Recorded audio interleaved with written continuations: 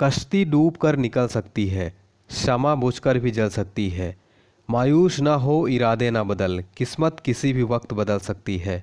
Good morning friends, welcome to online स्टी point. दोस्तों, आज है चौदह अक्टूबर और देखेंगे आज के पूरे करंट अफेयर साथ ही काफ़ी सारे एक्स्ट्रा फैक्ट जो आपके एग्ज़ाम ऑफ़ व्यू से काफ़ी इंपॉर्टेंट है। तो आप इस पूरा वीडियो को बहुत ध्यान से देखिए दोस्तों लास्ट में क्वेश्चन पूछूँगा, उसका आंसर आपको कमेंट बॉक्स में ज़रूर लिखना है। इस वीडियो की पीडीएफ फ़ाइल के लिए आप हमारे टेलीग्राम चैनल को ज्वाइन करें टेलीग्राम चैनल का लिंक वीडियो को डिस्क्रिप्शन बॉक्स में मिल जाएगा। यदि आपके पास टेलीग्राम नहीं तो आप प्ले स्टोर से टेलीग्राम डाउनलोड कर लीजिए।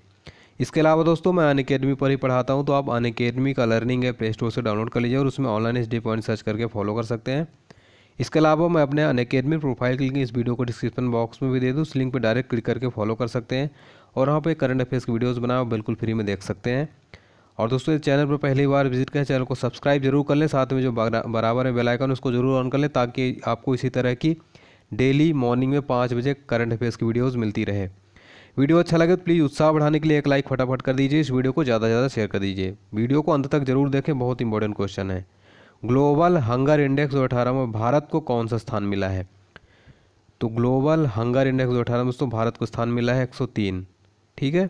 आपको बता दें, दो ग्लोबल हंगर इंडेक्स आपको बता दें दुनिया भर में भूख और कुपोषण का स्तर 2000 में 29.2 से नीचे 29.9 के मान पर जो है तो गंभीर श्रेणी में आता है।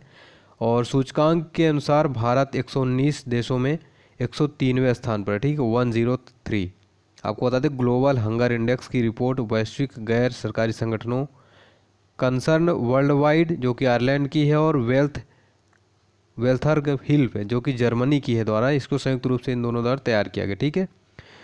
ग्लोबल हंगर इंडेक्स में शामिल देशों में आपको बता दें, कमज़ोर आबादी का हिस्सा 2015 और 17 में 12.3 परसेंट था, जो कि 2000 उन्नीस और 2001 के बीच की बात करें तो सेवनटीन पॉइंट सिक्स परसेंट था। तो यहाँ पे आपको याद रखना, ग्लोबल हंगर इंडेक्स दो में भारत को इसमें स्थान मिला है, एक सौ स्थान, वन ज़ीरो थर्ड। इसके अलावा यहाँ पे इंडेक्स की बात हो रही तो आपको इंडेक्स रिलेटेड काफ़ी सारे मैं और बता देता हूँ जो अभी रिसेंटली बताए गए हैं सूचकांक। बहुत इंपॉर्टेंट है, आप एक पेन ले लीजिए मेरे साथ नोट कर लीजिए इन चीज़ों को। देखिए, बता दें आपको कि मानव विकास सूचकांक अभी हाल ही में ह्यूमन डेवलपमेंट इंडेक्स जारी किया गया, उसमें भारत को मिला है एक स्थान वन थर्टी ठीक है, ये याद रखिएगा, इसमें भारत का वन थर्टी स्थान है। बहुत इंपॉर्टेंट है, आपके एग्ज़ाम में ज़रूर पूछा जाएगा, इसमें फ़र्स्ट नंबर पर है नार्वे। ठीक है, मानव विकास सूचकांक में पहले नंबर पर है नार्वे और भारत का स्थान है एक सौ तीसवां। दूसरा बात करें अगर यहाँ पे वैश्विक चाइल्डहुड सूचकांक दो अठारह में, इसमें भारत का स्थान एक सौ तेरहवां वन वन थ्री एक सौ तेरहवां स्थान इसमें फ़र्स्ट नंबर पर है सिंगापुर। ठीक है दोस्तों? और अगर बात करें यहाँ पे वैश्विक विनिर्माण सूचकांक दो अठारह में तो इसको भारत का स्थान है तीसवां और इसमें फ़र्स्ट नंबर पर है जापान। वैश्विक विका समावेशी विकास सूचकांक दो अठारह में भारत का स्थान है सिक्सटी टू, बासठवां स्थान और प्रथम स्थान पर है नॉर्वे। वैश्विक पर्यावरण प्रदर्शन सूचकांक दो अठारह में प्रथम स्थान पर है स्विट्जरलैंड और भारत का स्थान इसमें एक सौ सतहत्तरवा वन सेवेंटी सेवन्थ ठीक है वन सेवेंटी सेवन्थ वैश्विक पर्यावरण प्रदर्शन सूचकांक में। नेक्स्ट बात करें वैश्विक लोकतंत्र सूचकांक दो अठारह में, भारत का स्थान है बयालीसवां, ठीक है, बयालीसवां और इसमें फ़र्स्ट नंबर पर है नार्वे, ठीक है, फ़र्स्ट नंबर पर है नार्वे। वैश्विक बौद्धिक संपदा सूचकांक दो अठारह में इसमें भारत का स्थान है चवालीसवां, ठीक है, बौद्धिक, वैश्विक बौद्धिक संपदा दो अठारह में भारत का स्थान है चवालीसवें, प्रथम नंबर पर है अमेरिका। ये जो मैं बता रहा हूँ अभी मेरे साथ नोट करते चलिए। एक अपने नोट्स में नोट करते चलिए, इसको रिवीजन करेंगे तब याद होगा। सोच रहे हैं एक बार में, एक बार में नहीं याद होगा। डेली रिवीजन कर अपने माध्यम से आप ट्रिक बना के याद कर लीजिए। ठीक है? और नेक्स्ट बात करें वैश्विक प्रसन्नता सूचकांक में हैप्पी इंडेक्स में। तो इसमें है भारत का स्थान एक सौ one thirty three first number पर है फिनलैंड। ठीक है? फ़र्स्ट नंबर पर सबसे खुशहाल प्रसन्नता देश फिनलैंड है। आर्थिक स्वतंत्रता सूचकांक दो अठारह में भारत का स्थान है एक सौ तीसवां। ठीक है? और फ़र्स्ट नंबर पर हांगकांग। आर्थिक स्वतंत्रता सूचकांक में भारत एक सौ तीसवां और एक सौ तीसवें नंबर पर मानव विकास सूचकांक में है, ठीक है? तो कन्फ्यूज़ मत होना, दोनों में आर्थिक स्वतंत्रता में और मानव विकास सूचकांक में, ठीक है? और बात करें ग्लोबल लेविबिलिटी सूचकांक दो अठारह में तो इसमें भारत का स्थान है एक सौ बारहवा, फ़र्स्ट नंबर पर है वियना। एक बहुत इंपॉर्टेंट है, विश्व प्रेस स्वतंत्रता सूचकांक में भारत का स्थान है वन थर्टी एट एक सौ अड़तीसवां स्थान है, ठीक है? विश्व प्रेस स्वतंत्रता सूचकांक में भारत का स्थान है एक सौ अड़तीस और फ़र्स्ट नंबर पर है नॉर्वे। ठीक है? वैश्विक दास्ता सूचकांक दो अठारह में भारत का स्थान है तिरपनवा, फ़र्स्ट नंबर पर है उत्तर कोरिया। ग्लोबल इनोवेशन इंडेक्स में भारत का स्थान है संतावनवा फिफ्टी सेवेंथ ठीक है? फ़र्स्ट नंबर पर है स्विट्जरलैंड। ठीक है? ग्लोबल इनोवेशन इंडेक्स में। वैश्विक शांति सूचकांक में बात करें तो इसमें 2018 में भारत का स्थान है एक सौ छत्तीसवां, वन थर्टी सिक्स। और फ़र्स्ट नंबर पर है आइसलैंड। यहाँ पे आप, मैं आपको कुछ मोस्ट इम्पोर्टेंट एक बार रिवाइज कर देता हूँ, जो बहुत महत्वपूर्ण है, आप उसमें रेड मार्क कर लीजिएगा। मानव विकास सूचकांक में भारत का स्थान एक वैश्विक शांति सूचकांक में भारत का स्थान एक ग्लोबल इनोवेशन इंडेक्स में भारत का स्थान है फिफ्टी इसके अलावा विश्व प्रेस स्वतंत्रता सूचकांक अठारह में भारत एक और वैश्विक बौद्धिक संपदा सूचकांक भारत है फोर्टी फोर्थ और वैश्विक पर्यावरण प्रदर्शन सूचकांक में भारत एक सौ ठीक है? तो ये जो मैं इतने अभी रिपीट किया हूँ, ये मोस्ट इंपॉर्टेंट है, ये ज़रूर पूछे जाएँगे, बाकी सब भी इंपॉर्टेंट लेकिन इनकी पूछे जाने की संभावना ज़्यादा है, ठीक है? तो आप अपने नोट में नोट्स करके इसको रिवीजन ज़रूर करिएगा आप, ठीक है? और ट्रिक बना लीजिए अपने अकॉर्डिंग तो ग्लोबल हंगर इंडेक्स जो अठारह भी जारी किया, उसमें भारत का स्थान एक सौ तीन वन ज़ीरो थ्री इसको भी इंक्लूड कर लीजिए। चलिए, अगले क्वेश्चन की तरफ़ बढ़ते हैं। हाल ही में किस देश को संयुक्त राष्ट्र मानवाधिकार परिषद के लिए चुना गया है? तो चुना गया भारत को। ठीक है, आपको बता दें कि भारत को सभी उम्मीदवारों के बीच अधिकतम वोट के साथ संयुक्त राष्ट्र मानवाधिकार परिषद के लिए चुना गया है। भारत को एक जनवरी दो हज़ार उन्नीस से तीन वर्ष की अवधि के लिए एशिया प्रशांत श्रेणी में एक सौ अठासी वोट प्राप्त हुए हैं। अधिकतम वोटों के साथ भारत की जीत अंतर्राष्ट्रीय कमेटी में देश की स्थिति को दर्शाती है। आपको बता दें कि अठारह नए सदस्यों को एक पूर्ण मानव मतपत्र के माध्यम से पूर्ण बहुमत द्वारा निर्वाचित किया गया है। और पाँच क्षेत्रीय श्रेणियों में सभी अठारह देशों में भारत को सबसे अधिक वोट प्राप्त हुए हैं। एशिया प्रशांत श्रेणी में भारत को एक सौ अठासी वोट प्राप्त हुए और फिजी को एक सौ सतासी और बांग्लादेश को एक सौ अठहत्तर वोट प्राप्त हुए हैं। ठीक है? और आपको बता दें कि भारत को 2011 और 14 और 2014 17 के लिए पहले जिनेवा स्थित मानवाधिकार परिषद के लिए चुना गया था। संयुक्त राष्ट्र राजदूत सैयद सैयद जो अकबरुद्दीन है, भारत के स्थायी प्रतिनिधि। ठीक है? संयुक्त राष्ट्र के राजदूत जो हैं सैयद अकबरुद्दीन भारत के स्थायी प्रतिनिधि थे, ठीक है? यहाँ पे बात करें संयुक्त राष्ट्र मानवाधिकार परिषद, ठीक है? यानी U N H R C U N H R C इसका फुल फॉर्म क्या है? United Nation human right council ठीक है? United Nation human right council थोड़ा सा बता देते दोस्तों इसके बारे में। संयुक्त राष्ट्र मानवाधिकार परिषद का गठन संयुक्त राष्ट्र महासभा द्वारा 2006 में मानवाधिकार के मुद्दों से निपटने के लिए किया गया था। इसमें सैंतालीस निर्वाचित सदस्य होते हैं। न्याय संगत भौगोलिक वितरण के आधार पर परिषद जो सीटों पाँच क्षेत्रीय समूह बांटा गया है, जो इस प्रकार है। इसमें अफ्रीकन देश में तेरह सीट है, एशिया प्रशांत के देश में इसमें थर्टीन है, और पूर्वी यूरोपियन देश में छः सीट है, लैटिन अमेरिकी देश एवं कैरेबियन देश में आठ देश हैं, और पश्चिमी यूरोप अन्य देश में सात सीटें हैं। ठीक है? तो ये आपको फैक्ट याद रखना है। तो हाल ही में किस देश को संयुक्त राष्ट्र मानवाधिकार परिषद के लिए चुना गया है? इंडिया को। ठीक है? ऑप्शन भी करेक्ट है। दोस्तों, यहाँ पे अगर बात करें जापान की तो जापान से रिलेटेड कुछ फैक्ट बता देते जो आपके एग्ज़ाम में पूछा था, जापान का प्राचीन नाम था निप्पन, जापान की राजधानी टोक्यो। जापान जो चार, प्राय चार बड़े द्वीपों पर स्थित है। ये चार द्वीप हैं, होक्काइडो होन्सो सिकोको तथा क्यूशु। जापान को सूर्योदय का देश भी कहते हैं जापान के पीएम है सिंजो आबे। एशिया का सर्वाधिक जलयान बनाने वाला देश है जापान। ठीक है तो ये जापान से रिलेटेड आपको फैक्ट याद रखने हैं। वहीं बात करें अगर पाकिस्तान की तो पाकिस्तान की दोस्तों, राजधानी है इस्लामाबाद। करें यहाँ पे लार्जेस्ट सिटी है कराची और करेंसी पाकिस्तानी रुपया।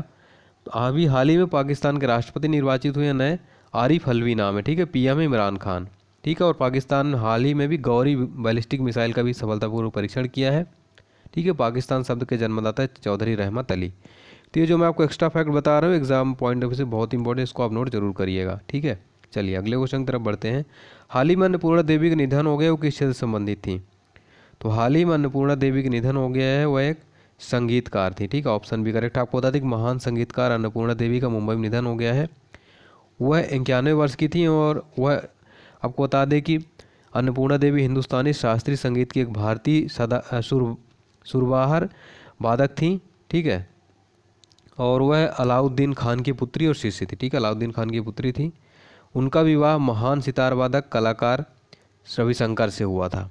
तो हाल ही में अन्नपूर्णा देवी के निधन होगा किस से संबंधित थी? संगीतकार। नेक्स्ट क्वेश्चन है, राष्ट्रीय मानवाधिकार आयोग की पच्चीसवीं वर्षगांठ समारोह का उद्घाटन किसने किया है? तो किया है प्रधानमंत्री मोदी जी ने। ऑप्शन बी करेक्ट है। आपको बता दें कि मोदी जी ने राष्ट्रीय मानवाधिकार आयोग के पच्चीसवीं वर्षगांठ समारोह का उद्घाटन किया और कहा कि सतत विकास लक्ष्यों को प्राप्त करने के लिए सरकार के प्रयासों में महत्वपूर्ण भूमिका निभाएगा। ठीक है? यहाँ पे अगर बात करें दोस्तों, राष्ट्रीय मानवाधिकार आयोग की तो बारह अक्टूबर उन्नीस सौ तिरानवे को इसकी स्थापना की गई थी। राष्ट्रीय मानवाधिकार आयोग की वर्तमान अध्यक्ष कौन है? बहुत महत्वपूर्ण क्वेश्चन पूछा जाएगा। राष्ट्रीय मानवाधिकार आयोग के वर्तमान अध्यक्ष है न्यायमूर्ति एच एल दत्तू। ठीक है, एच एल दत्तू वर्तमान में यहाँ के चेयरमैन है राष्ट्रीय मानवाधिकार आयोग के। और इसके पहले अध्यक्ष कौन थे? राष्ट्रीय मानवाधिकार आयोग के रंगनाथ मिश्रा। ठीक है, रंगनाथ मिश्रा पहले अध्यक्ष थे। राष्ट्रीय मानवाधिकार आयोग के वर्तमान जो सेक्रेटरी जनरल हैं दोस्तों, वो है अंबुज शर्मा। ठीक है मानवाधिकारों को प्रहरी है मानवाधिकार और इसका हेडक्वार्टर है राष्ट्रीय मानवाधिकार आयोग का नई दिल्ली में। तो ये फैक्ट आपको याद रखना है, राष्ट्रीय मानवाधिकार आयोग से रिलेटेड पच्चीसवीं वर्षगांठ का उद्घाटन भी किया है मोदी जी ने। चलिए, अगले क्वेश्चन की तरफ़ बढ़ते हैं। अंतर्राष्ट्रीय आपदा न्यूनीकरण दिवस कब मनाया जाता है? तो ये मनाया जाता है तेरह अक्टूबर को। ऑप्शन डी राइट आपको बता दें कि इस दिन का उद्देश्य दुनिया भर में आपदा रहित समाज का निर्माण करना और उसके साथ जुड़े जोखिमों के बारे में जागरूकता बढ़ाना है। अंतर्राष्ट्रीय आपदा न्यूनीकरण दिवस का विषय क्या है? रिड्यूसिंग डिजास्टर इकोनॉमिक लॉसेस ठीक है, ये आपको याद रखना बहुत इंपॉर्टेंट है। जोखिम, जागरूकता और आपदा में कमी को वैश्विक संस्कृति का बढ़ावा देने के लिए तेरह अक्टूबर को मनाया जाता है। ठीक है? संयुक्त राष्ट्र, आपको बता दें संयुक्त राष्ट्र अंतर्राष्ट्रीय रणनीति आपदा न्यूनीकरण का मुख्यालय जिनेवा, स्विट्जरलैंड में। हेडक्वार्टर ज़रूर याद रखना बहुत इंपॉर्टेंट है।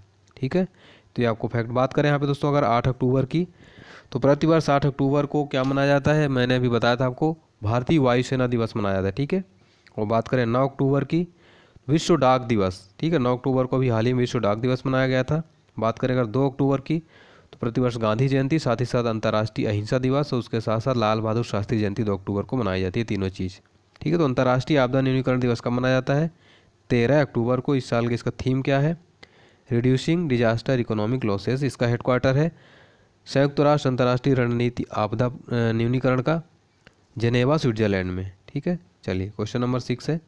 भारतीय अंतरिक्ष अनुसंधान संगठन इसरो ने जम्मू कश्मीर के किस विश्वविद्यालय में अंतरिक्ष अनुप्रयोग केंद्र स्थापित करने के लिए समझौता ज्ञापन पर हस्ताक्षर किए हैं? राइट आंसर है केंद्रीय जम्मू विश्वविद्यालय। देखिए, भारतीय अंतरिक्ष अनुसंधान संगठन इसरो भारत के उत्तरी राज्य में अपना विस्तार करने के लिए जम्मू केंद्रीय विश्वविद्यालय में अपना एक केंद्र स्थापित करने की घोषणा की है। यहाँ पे बात हो रही इसरो की इससे रिलेटेड आपको सारे फैक्ट पता होने चाहिए एग्ज़ाम में पूछे जाते हैं, इसरो का फुल फॉर्म क्या है? Indian space research organisation, ISRO का हेडक्वार्टर है। बेंगलुरु, कर्नाटका में इसरो का स्थापना कब हुई थी? पंद्रह अगस्त 1969 में, ठीक है?